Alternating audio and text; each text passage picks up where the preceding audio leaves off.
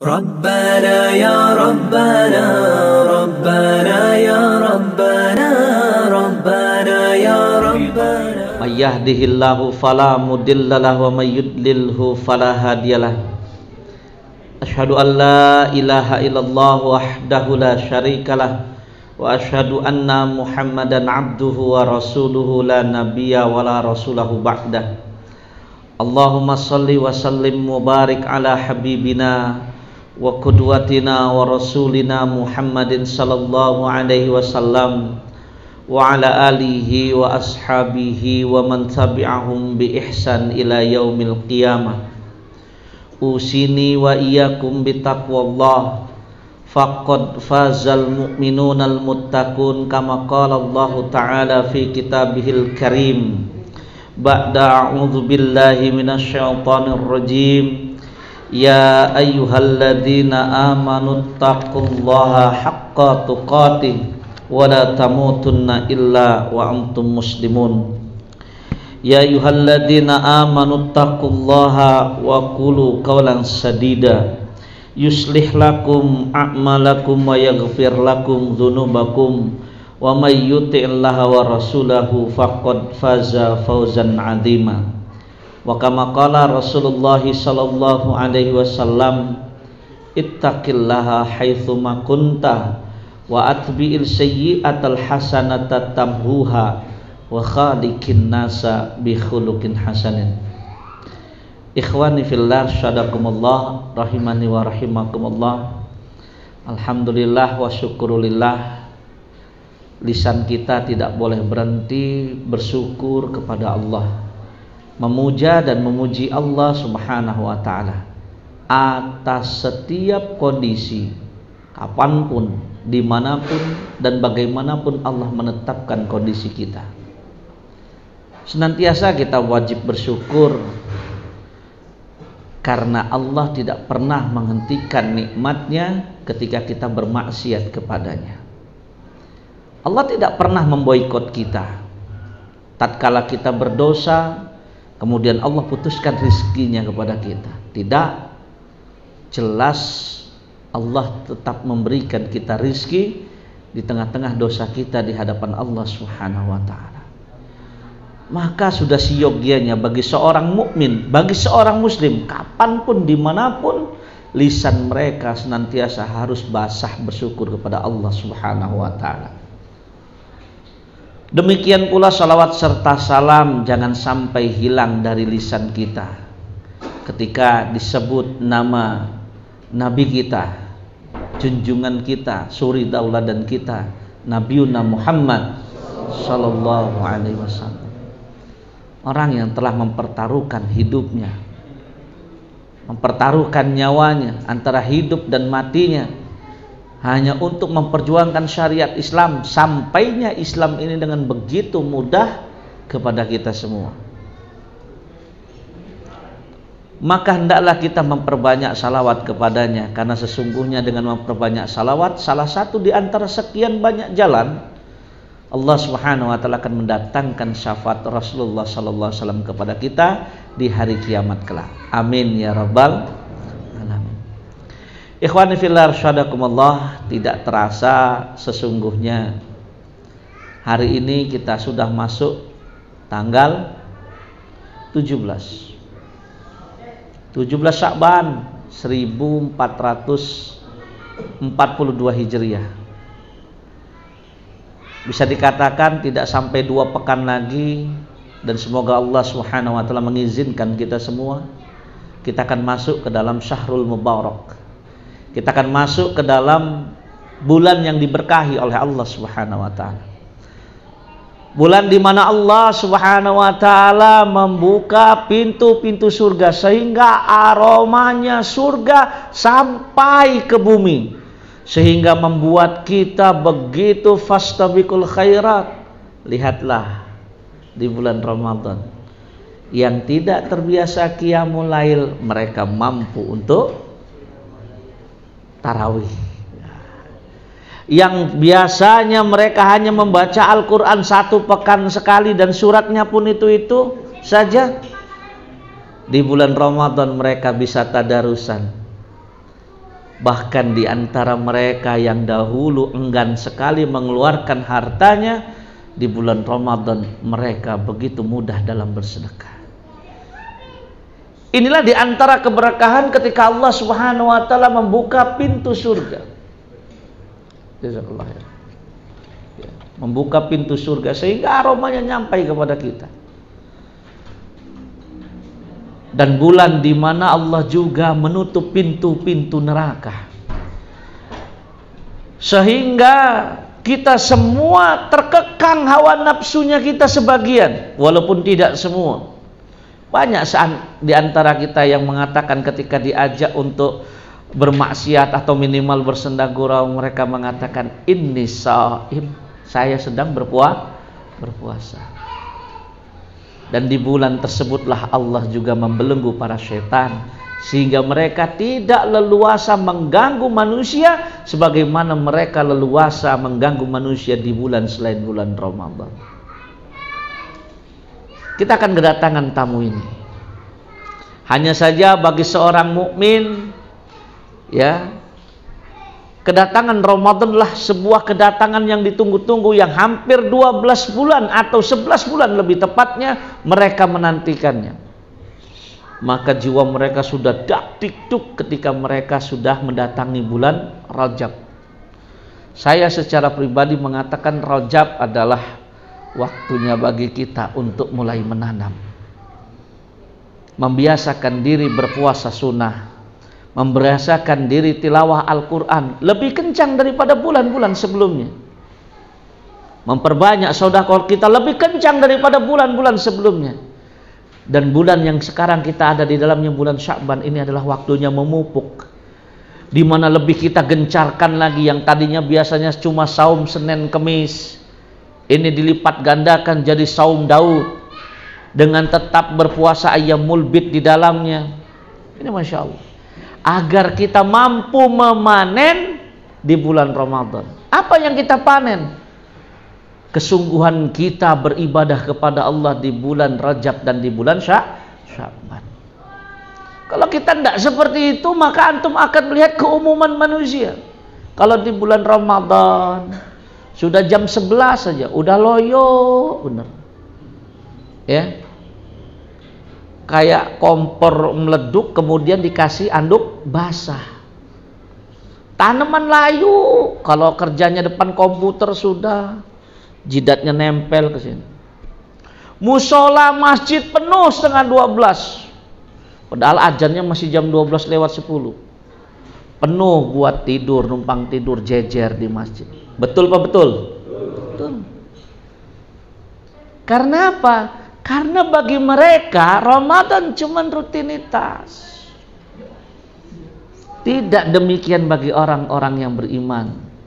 Bagi orang-orang yang beriman mereka mengetahui ini bulan pertempuran sesungguhnya. Maka hasilnya mereka tadrib, hasil mereka latihan, di bulan Rajab, di bulan Syaban mereka petiknya di bulan Ramadan. Sehingga mujahadah mereka tidak pernah kendur. Bahkan mereka tidak akan pernah mau kalah dengan kuda pacu. Kuda pacu itu makin mendekati hari akhir makin kencang dia berlari. Kenapa? Dia lihat finish.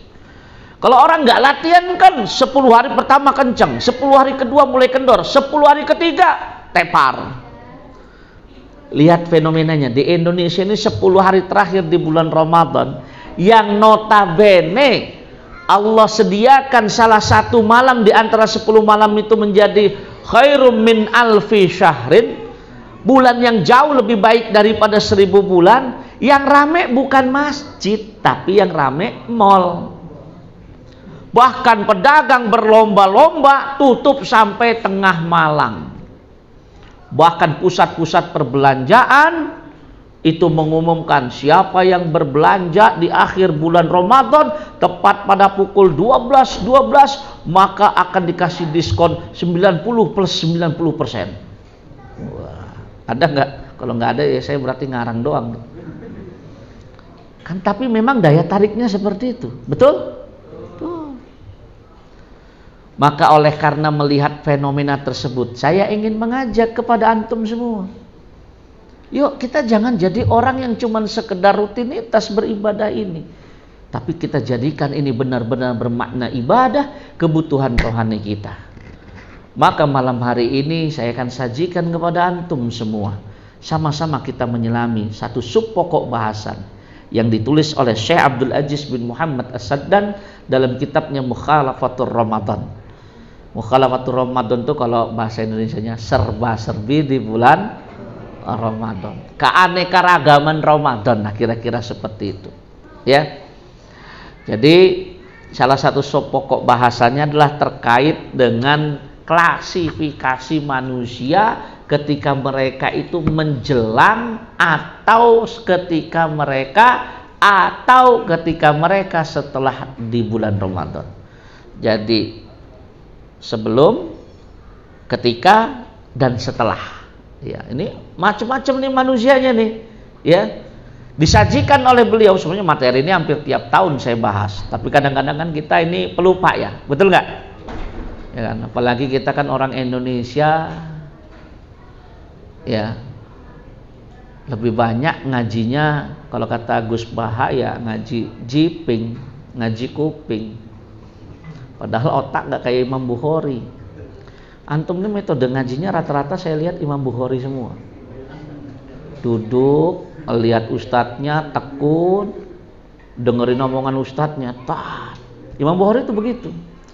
Tapi kalau Imam Bukhari setelah gurunya selesai memaparkan materi misalkan satu jam, beliau dengan detail bisa mengulangi semua perkataan gurunya dari satu jam yang lalu.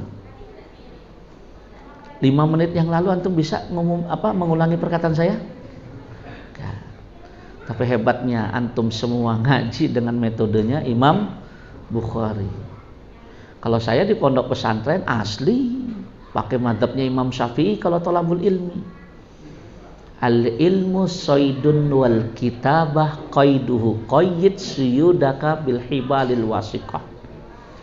Ilmu itu binatang buruan, tulisan itu adalah Kalau binatang buruan itu enggak mau hilang, nggak mau lepas, ikat dengan tulisan erat-erat. Ya. Jadi kalau nggak nulis itu antum tuh harusnya otaknya kayak Imam Bukhari. Kalau otaknya nggak seperti Imam Bukhari, harusnya ngajinya metode Imam Syafi'i. Syafi'i nulis. Karena kalau ingatan lemah, nanti antum pulang dari taklim, nyampe rumah ditanya, Materinya apa? Aduh apa ya? Yang jelas uduknya enak malam ini. Ketutup dengan dengan konsumsi jadinya. Ya. Tapi benar, saya tidak mau bohong. Saya kalau belajar sama ustadz di pondok pesantren nggak bawa buku. Aduh, dan tahun 90-an nggak segan-segan mereka memarahi kita.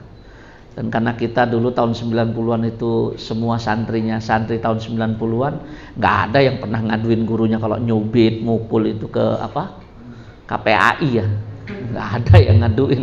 Karena kita tahu gurunya kalau nyubit kita karena kita badung ya. Malah bersyukur kita kalau kita pernah diberikan pembelajaran seperti itu sama guru-guru kita ya Taib ikhwan fillah syadakumullah. Syekh Abdul Aziz Asad dan dalam kitab Mukhalafatul Ramadan membagi manusia menjadi enam.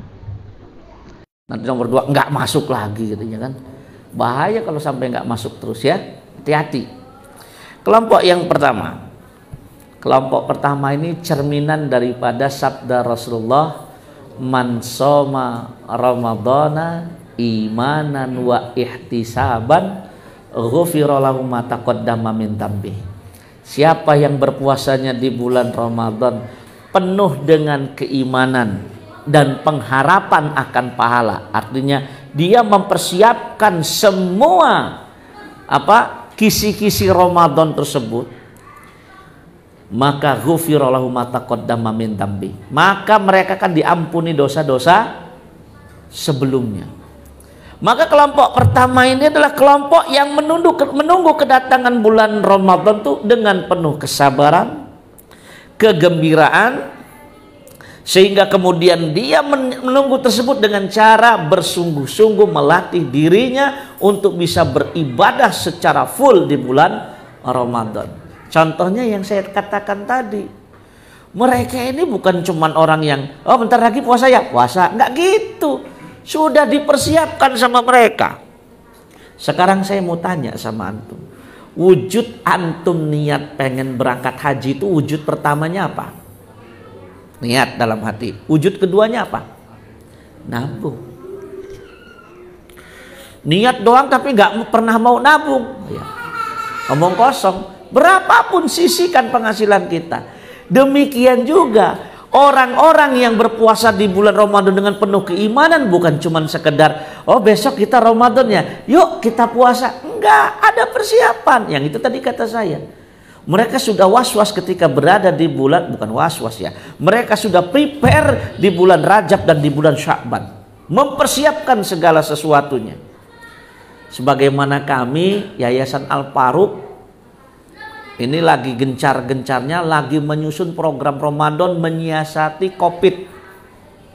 Bagaimana COVID ini masih ada di tengah-tengah kita, tapi kita bisa bermanfaat, berfaedah bagi umat Kasihan anak yatim yang dulu nggak kita kunjungi nanya terus.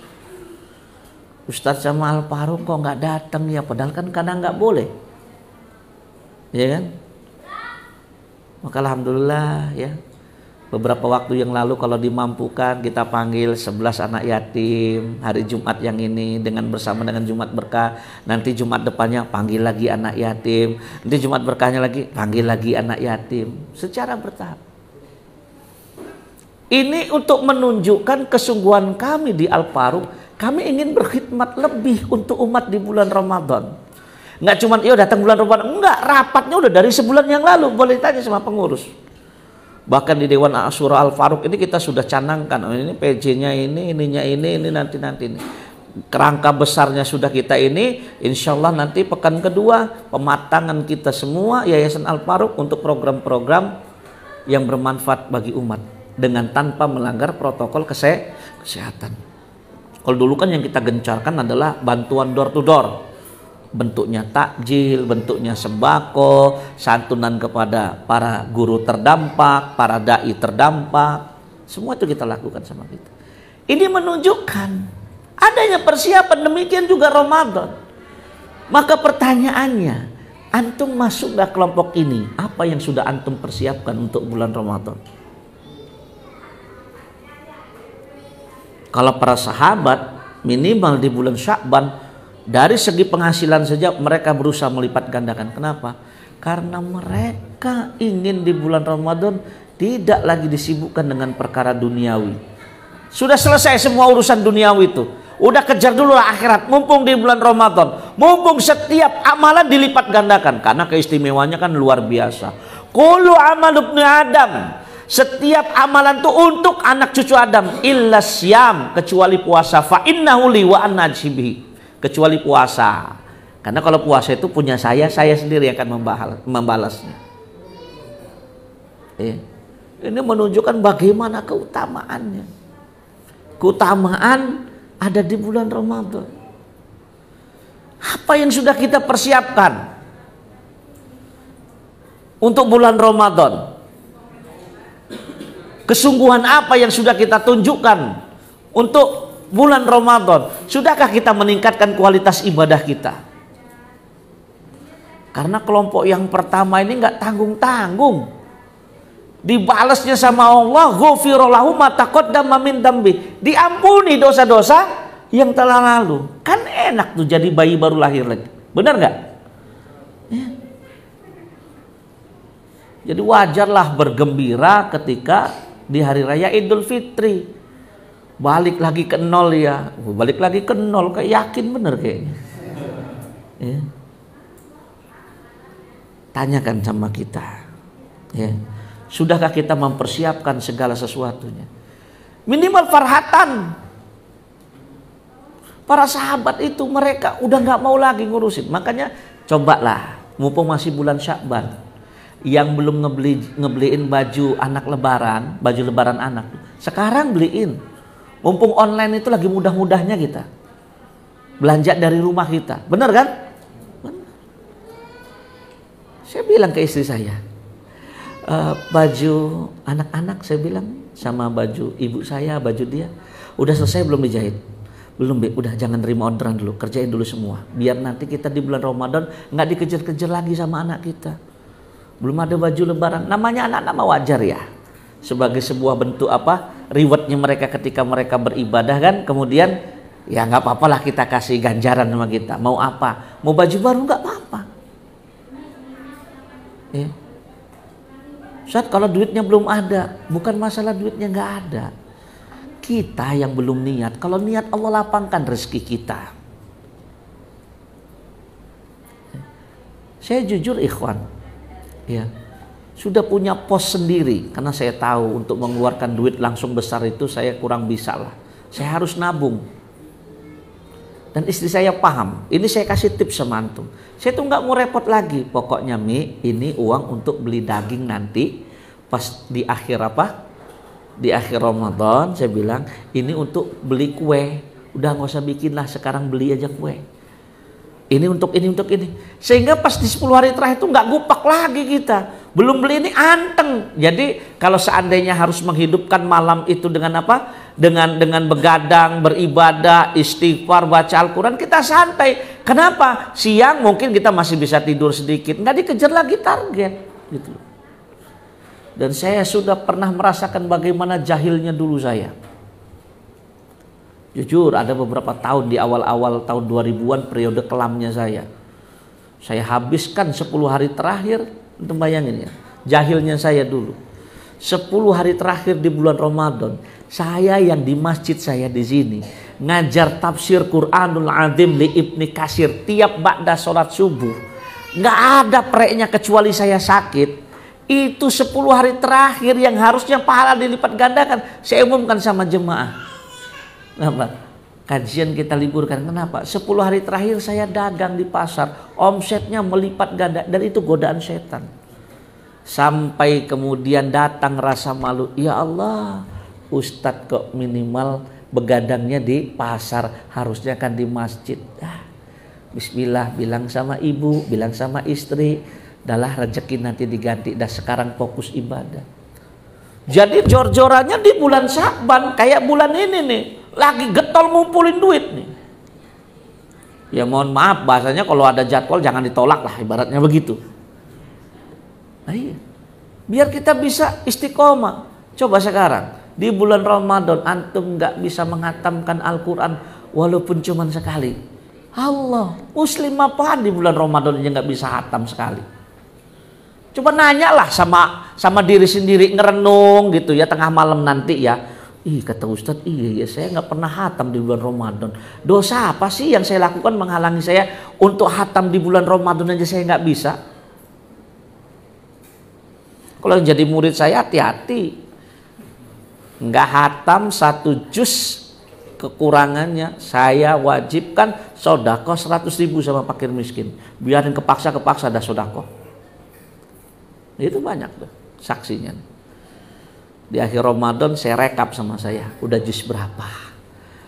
Masih jus 24 Ustaz, 6 kali 100, 600 ribu. Kejar, kalau enggak bayar saya bilang. Bukan untuk saya duitnya, untuk pakir miskin. Kalau kata saya, wah masa sih sekali saja nggak bisa hatam? Padahal kalau sekali hatam itu berarti kan satu hari satu jus. Satu juz itu sepuluh lembar, dibagi lima waktu sholat. Tinggal selembar sebelum sholat, selembar setelah sholat. Habis waktu berapa menit? Sebentar ya Allah. Kalau antum model bacanya A'udzubillahi minasyaitonirrajim Bismillahirrahmanirrahim Alhamdulillahi rabbil alamin Ar-Rahmanirrahim Kalau kayak gitu aja bacanya ya 35 sampai dengan 45 menit antum dapat satu juz Apalagi kalau mau bacanya metode santri. A'udzubillahi minasyaitonirrajim. Bismillahirrahmanirrahim. Alhamdulillahi rabbil alamin. Arrahmanirrahim. Maliki yaumiddin. Iyyaka na'budu wa iyyaka nasta'in. Ihdinas siratal mustaqim model santri karena waktu di pondok kalau belum hatam tiga kali nggak bisa pulang santri makanya bacanya begitu mau bohong sekali ngelempit tiga lembar dosa Masa baca Al-Quran aja korupsi? Kan ada yang pura-pura korupsi ya. Ah pura-pura ngimbit aja lah. Sekali ngelempit tiga lembar. Ya kok udah jus sekian ya. Uh, padahal dia sengaja bener kayaknya ngelempitnya tiga lembar itu kan. Kalau kami tuh malu, tapi kami kalau nggak tiga kali hatam di bulan Ramadan nggak boleh pulang. Jadi makin terlambat, makin terlambat pulangnya. Oh daripada nggak bisa barengan sama kawan, ya sudah baca Al-Quran jangan gedur. Kalau saya sempat ngalamin, tiba-tiba uh, tertidur, bangun, waduh, bacanya sampai mana ini? Bingung. Al-Qurannya lepas dari tangan, udah ngegeletak dia, sedih lagi. Ya mau pura-pura ngelebihin takut dosa. Ujung-ujungnya ngulang lagi. Diinget-inget lagi. Ya. jadi mumpung belum terlambat ini masuk gak kita kelompok nomor satu? Ingat ya prinsipnya Ramadan ini harus lebih baik daripada Ramadan tahun lalu ya itu orang yang beruntung. Orang rugi kalau Ramadan tahun ini sama seperti Ramadan tahun kemarin. Celaka kalau Ramadan tahun ini lebih buruk daripada Ramadan tahun kemarin. Sudahkah kita masuk kelompok satu? Allah alam bisawab. Ya. Saya sih berdoa mudah-mudahan timbul kesadaran sehingga kita semua benar-benar pengen jadi kelompok nomor satu karena ini yang dijanjikan ghufir lahu min dambi. Kita persiapkan materi kita siapkan, kegembiraan kita siapkan. Saya sudah mulai tanda kutip mendoktrin anak saya yang usia lima tahun. Kalau kemarin kan dia usia empat tahun kan cara puasanya ikut sahur. Nanti ba'da zuhur makan, setelah itu latih lagi puasa. Antum jangan protes, emang ada ustadz puasa model kayak gitu. Ini puasa anak-anak, metode ini. Ini bukan ibadah mahdo kalau metode yang kayak gini nih Jangan antum bilangin bid'ah lagi. Ya. Antum tuh belajarnya nggak pakai urat leher sih. Makanya kadang-kadang seperti itu. Oh, itu bid'ah itu ajaran apa itu? Puasa setengah hari lanjut lagi. Mana ada puasa seperti itu? Ini kan metode melatih dia. Sehingga tahun ini saya terus menerus sampai nanya tuh si Ali itu ya. Emang berapa hari lagi Gebi? Sudah diomongin jauh-jauh hari. Jangan sampai besok puasa baru diomongin. Nak puasa ya? Enggak. Saya udah nanya sama Umar saya nanya Bang kalau tahun ini full abang minta apa? Jam tangan bi. Ah. Ali minta apa? Pedang bi. Buat apa pedang? saya bilang. Bilangnya udah pedang. Beberapa hari yang lalu saya tanya Ali kalau full puasanya mau minta apa? Pedang. Nih saya lihat saya dengar saya sampai mikir ngelihat apa lah dia ini kok mintanya pedang? pikir saya. Ditanya sama istri saya pedang yang kayak mana sih nak apa yang bundar keluar cahaya itu? Maksudnya kayak Star Wars apa bukan? Pokoknya pedang lah biar bisa ngebacok. Waduh saya udah gitu. Main pedang-pedangan rupanya karena sama ini kan pokoknya. Itu sampai seperti itu. Kita tanamkan kenapa? Kan wajib gembira. Bahkan ada seorang ustadz kalau menjelang Ramadan tuh rumahnya dicat ulang. Ya alhamdulillah ruangan saya diinin sama tim media. Gembira juga saya menjelang Ramadan ruangan bagus kan kan menimbulkan kegembir Ramadan tuh harus gembira farhatan. Jangan aduh Ramadan puasa terus itu biasanya orang nggak biasa puasa itu. Ada bakal lemes. Ya itu nanti masuk nih kelompok yang keberapa itu nanti. Ya. Ya kata orang ini harus farhatan gembira. Jangan sampai antum datang Ramadan jadi beban. Kalau waduh iya juga ya, kalau saya mah jadi beban, hati-hati. Minta sama Allah agar gembira menyambut datangnya bulan Ramadan. Orang Ramadan tuh mas masuk satu sawal coba antum. Sekali sekali antum coba ini ya. Uh, lihat khutbah-khutbah yang pakai bahasa Arab. Khususnya di Mekah dan di Madinah. Yang sudah ada translate -nya. Mereka khutbah Idul Fitri itu mau doa itu nangis rata-rata. Apa kata mereka? Ramadan telah meninggalkan harinya jadi hari balik biasa lagi. Nggak ada pelipat gandaan lagi. Itulah orang-orang yang datang Ramadan mereka bergembira, Ramadan berlalu mereka sedih. Kebalikan dengan mayoritas kita, mau datang Ramadan kita sedih, mau akhir gembira, akhirnya Idul Fitri juga katanya kan. Balas dendam, makan ke sini, makan rendang ini, so. ujung-ujungnya masuk rumah sakit. Wah, balas dendam kayak orang keluar dari penjara. Semua serba dimakan. Ini kelompok yang pertama. Ya. Saya ajak antum semua. Yuk kita berdoa semoga Allah jadikan kita kelompok yang pertama ini. Amin ya rabbal alamin. Ya. Kelompok yang kedua. Sebenarnya saya tadi lupa memaparkan tentang bagaimana sifatnya Rasulullah untuk kelompok yang pertama. Rasul itu orang yang paling dermawan. Santir muka bumi kata sahabat Abdullah ibnu Abbas. Tapi lebih dermawan lagi kalau di bulan Ramadan. Tuh.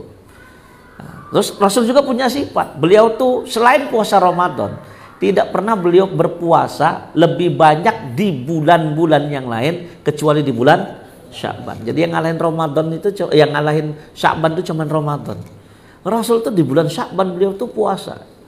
Daud dicampur dengan ayamul ayamul. Paling banyak maka hitungannya dia. Itu ya kelompok yang pertama. Kelompok yang kedua adalah kelompok-kelompok yang mereka tanda kutip istiqomah tapi rugi. Istiqomah tapi rugi ini adalah kelompok-kelompok yang mereka ketika datang bulan Ramadan dan berlalunya bulan Ramadan amalan mereka stagnan, amalan mereka berhenti. Berhenti apa namanya? Stagnan itu apa ya? Statis. Baca Al-Qur'an sebelum Ramadan sehari selembar. Pas Ramadan tetap selembar. Habis Ramadan selembar. Ini rugi, ini kelompok minal khosirin ini. ini. Sebelum Ramadan kotak infak lewat goceng ada yang pura-pura merem. Ya.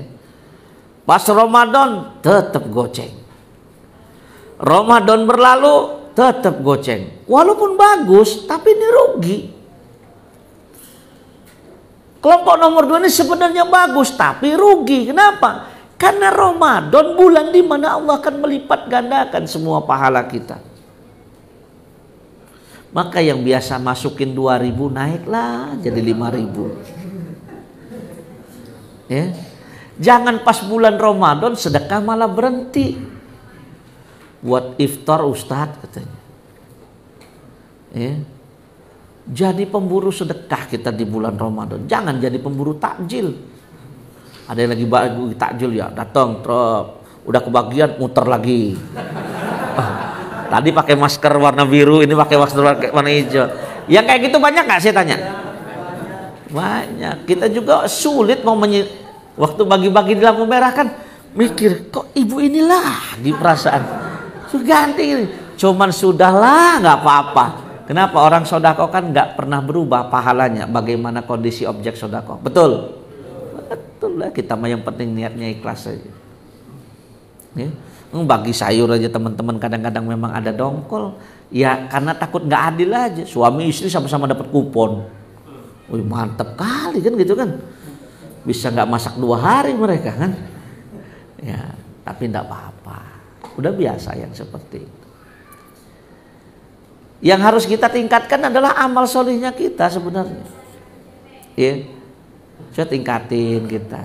Makanya Syakban ini mumpung masih kurang lebih 12 atau 13 hari lagi, ayolah kita sama-sama memperingatkan diri kita. Ya, biar kita nanjak amalnya. Kalaupun turun, habis itu nanjak lagi. Jangan turun, turun terus jangan. Yang gini aja udah rugi nih. Apalagi yang habis begini begini. Kalaupun turun, benar nggak apa-apa karena ada fenomena, tapi harusnya nanjak lagi karena memang al iman yazidu wa yangkus. Nggak ada orang imannya statis itu sebenarnya nggak ada. Iman tuh pasti naik dan tuh turun. Usahakan ketika turun jangan terlalu tak tajam turunnya. Kalau naik silahkan meroket seroket-roketnya. Ya. Ini kelompok nomor dua. Walaupun dia istiqomah, tapi dia kelompok yang rugi. Kelompok yang ketiga yang dipaparkan oleh Syekh Abdul Aziz As-Saddan adalah bahasa saya tapi ini ya, bukan bahasa beliau. Kalau bahasa saya muslim musiman. Muslim musiman. Kalau kata Syekh Abdul Aziz uh, As-Saddan, mereka adalah orang-orang yang hanya mampu mendekatkan diri kepada Allah ketika Ramadan tiba. Ya. Mereka hanya mampu mendekatkan diri kepada Allah ketika Ramadan ti tiba. Berlalunya Ramadan akan berlalu pula amal solihnya mereka. Pak masih mau nerusin? Enggak pak, udah selesai pak Ramadannya katanya. Ya, dikiranya sodakoh berhenti kalau Ramadan berhenti. Padahal kebutuhan manusia bukan cuma ada di bulan Ramadan, tapi di 11 bulan yang lainnya pun manusia membu membutuhkan. Eh, Walaupun ini yang paling banyak, ya, tapi jangan sampai harusnya kita jadi muslim yang musiman. Musimnya duren, makan duren, musimnya nangka, makan nangka, musimnya duku, makan duku. Kalau kita jangan musiman. Ya, tunjukkan kepada Allah kalau kita di, mampu beramal bukan cuman di bulan Ramadan. Ramadan tuh kita tambahkan porsinya. Kita perbanyak yang bisa diperbanyak, kita perbaiki yang kualitasnya kurang bagus, kita perbaiki. Gitu loh. Ya. Kalau musim-musimannya ya Ramadan ya taraweh tarawehan. Makanya fenomenanya masjid itu kalau di bulan Ramadan penuhnya di tujuh hari pertama dan tiga hari terakhir. Makanya doanya awaluhu wa akhiruhu tengah-tengahnya bolong saya lagi mimpi nggak ngomong begini Enggak. memang begitu kan? Betul. Malam ini ditetapkan sama pemerintah malam satu Ramadan. Artinya besok sudah puasa. Penuh nggak masjid? Wih yang nggak biasa pakai sarung. Rapi sarungnya. Bepeci pakai baju koko ya. Tumben bro hadir. Wih hari pertama mah wajib gestor muka dulu sama Allah katanya. Kan hari pertama mah ada riungan ya, betul. Masuk lagi nanti 17 Ramadan. Nuzulul Quran. Besek lagi urusannya ya. Itulah yang disebut muslim musiman. Hanya ke masjid ketika Ramadan tiba. Ya, makanya kan lagunya gitu, Ramadan tiba, Ramadan tiba, tiba-tiba Ramadan kan gitu kan. Itu muslim musiman itu, lagu muslimnya mau musiman itu kan. Ya kaget mereka, aduh besok puasa lagi ya itu. Ya. Itu untuk lagunya orang-orang yang muslim musiman itu. Ya. ya ini hati-hati nih yang seperti ini jangan jadi muslim musiman tapi kalau kata si Abdul Aziz bin Saddan ya ini yang paling banyak. Ini yang paling banyak. Ya. walaupun kalau kata Imam Ahmad dan Fudail bin Iyad rahimahumullah ya. Mereka adalah seburuk-buruknya kaum lantaran tidak mampu mengenal Allah kecuali pada bulan ini yang ketiga ya. Tapi ini masih mending loh yang muslim musliman ini daripada kelompok yang keempat. Dan kelompok keempat masih lebih mending daripada kelompok kelima. Dan yang kelompok kelima masih mending daripada kelompok yang keenam. Kelompok yang keenam ini wajib naudzubillah summa naudzubillah min balik hati-hati ya. Jadi kalau antum nggak ada di lima kelompok ini, aduh, ulang ini sholat taubatan nasuhalah, sholat taubat lah. Ya lima aja masa nggak masuk gitu loh. Berarti yang enam dong kan ya? Nah itu ya. Nomor empat Aduh, masya Allah. Ya. Kelompok keempat ini kelompok orang-orang selain mereka muslim musiman, kelompok orang-orang yang hanya mempuasakan perutnya saja. Jadi terminologi mereka puasa ini enggak makan, enggak minum, ya, terus enggak jima di siang hari di bulan Ramadan. Padahal maknanya enggak begitu. Puasa itu cakupannya luas. Makanya kata Rasulullah sallallahu alaihi wasallam dalam hadis yang diriwayatkan oleh Imam Ibnu Hibban laisa siyam minal akli wasyurbi walakin inna masyam minal lagwi warofas puasa itu bukan cuma menahan diri dari yang namanya makan dan minum saja. Bukan tapi puasa itu juga maknanya menjauhkan diri dari perbuatan yang sia-sia dan perkataan yang keji. Di bulan Ramadan bukannya habis sholat subuh apa istighfar, baca Al-Quran, zikir pagi dan petang, dengar kajian. Malah ba'da sholat subuh langsung main PS. Di HP. Ngeliat tiktokan. Iya kan? Kalau zaman saya zaman dulu main monopoli. Ludo. Paling banter yang maco main mercon. Habis sholat subuh kan begitu. Dengan bangga bener lagi ngelempar mercon sama anak cewek. Kalau mereka udah teriak-teriak senang bener gitu kan. Kasih tak sampai. Nggak bisa nyampein salam dengan lembut pakai mercon. Gitu ngantum dulu. Ngaku aja. Ya kan?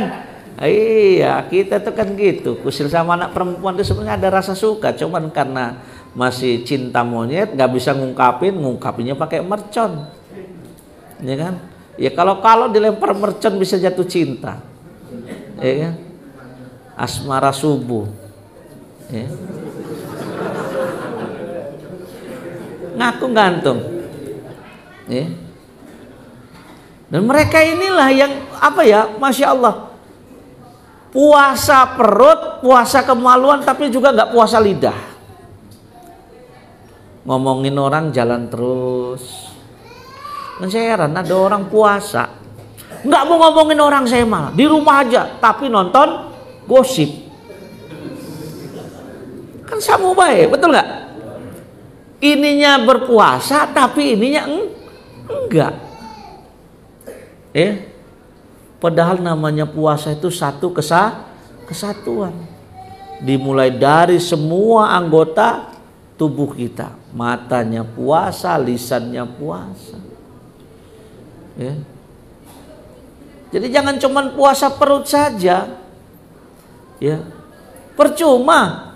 Tapi kata Rasul banyaknya yang kayak gini. Rubba so'imin khadhu min siyami al-ju'i wal aktos. Berapa banyak orang yang berpuasa tapi balasan dari puasanya cuman rasa haus dan rasa lapar saja. Kan kasihan. Kan banyak yang seperti ini ya. Nah, ini nomor empat antum masuk ke ini? Nah, itu yang jadi masalahnya itu ya. Naudzubillah summa naudzubillah min min dalik. Apalagi ya mohon maaf, udah puasa sering bohong. Dan ada kalimat yang menarik ya. Eh, jangan bohong lagi puasa. Itu kan sebenarnya rancu tuh kalimat itu ya. Bukan berarti nanti takutnya oh, puasa udah lewat berarti udah boleh bohong ya. Bukan. Puasa di bulan Ramadan kemudian berbohong itu dosanya melipat ganda. Kenapa? Karena satu dosa bohongnya, yang kedua menodai kesucian Ramadan dengan cara berbohong. Ini kelompok nomor empat. Naudzubillah summa naudzubillah min Kelompok nomor lima ini agak komplitan dikit. Kalau bahasa saya. Gabungan muslim musiman, puasanya cuma puasa perut dan kemaluan, plus ditambah mereka adalah kelompok manusia yang menjadikan siang hari di bulan Ramadan sebagai waktu untuk tidur dan malam hari di bulan Ramadan waktu untuk bega, begadang. Ya itu tadi jam 11 sudah pada tidur. Malamnya begadang. Saya pernah ngisi kajian Ba'da Roma, Ba'da sholat tarawih pulang. Ya. Di daerah dekatnya inilah pokoknya nih rumahnya Hafiz ini. Mampir saya di Gardu. Ya kan? Orang di Gardu itu lagi main kartu gitu. Ya kan? Karena tahu yang ngunjungin Ustadz, Ustadz, kita ini jangan ceramahin, tugas kita ini mulia katanya. Saya bilang apa tugasnya? Saya bilang ngebangunin orang sahur. Uh, saya bilang ngebangunin orang sahur itu mulia, tapi cara nunggunya itu begadang main gaplenya ini. Dan herannya mereka itu tidak menganggap judi cepitan jemuran itu. Anda tahu nggak makna judi itu ada sesuatu yang dipertaruhkan corengan bedak aja karena sesuatu itu dipertaruhkan maka nilainya ju jadi kan ada yang dipertaruhkan. Yang kalah batu bata dua biji diiketin di selempangin ke sini. Dalam hati saya ya Allah bukannya tidur istirahat bangun sepertiga malam wa minal laili fatahajjat bihi nafilatan lak asa yab'asaka rabbuka maqaman mahmuda. Kemudian di waktu sahur mereka lebih istighfar ini enggak malam harinya tuh dipenuhi dengan hura-hura. Sempet-sempetnya sahur juga bahkan nonton acara yang penuh dipenuhi dengan gelak tak tawa. Padahal antum tahu nggak waktu sahur tuh waktu yang paling utama buat? Istighfar. Wabil asharihum yastaghfirun. Surat al-mu'min.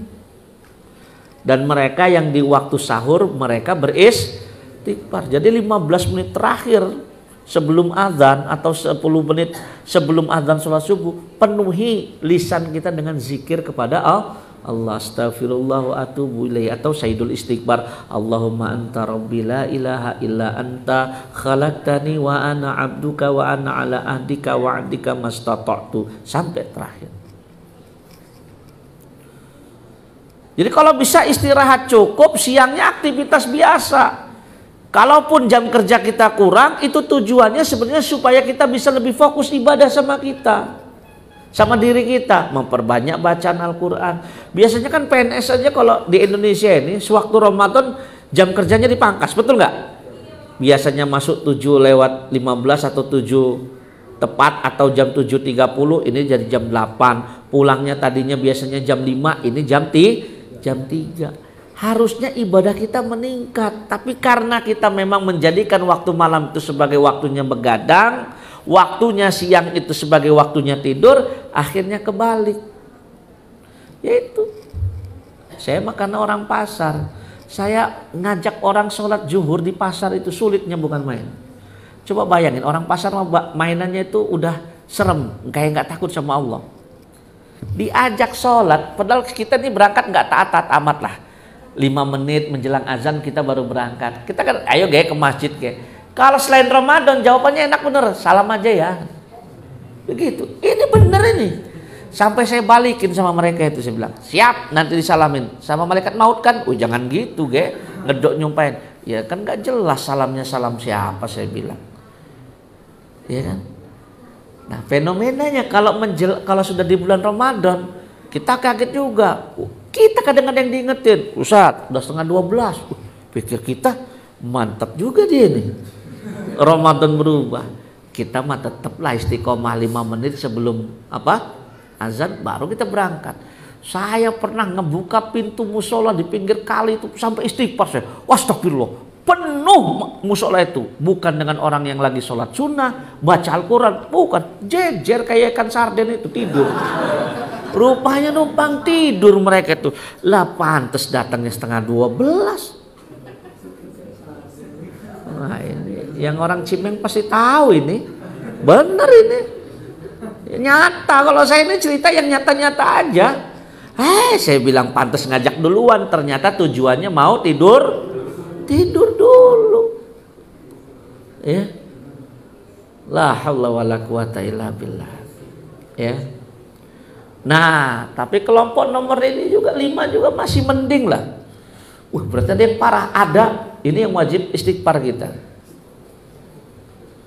Karena kelompok nomor 6 ini adalah kelompok orang yang bahkan ketika di bulan Ramadan pun mereka tidak mampu mendekatkan diri mereka kepada Allah.